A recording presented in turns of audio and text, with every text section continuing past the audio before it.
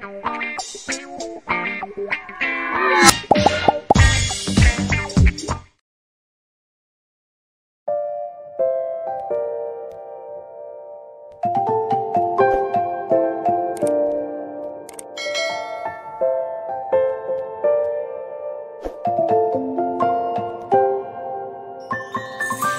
many places still undiscovered But you're stuck in a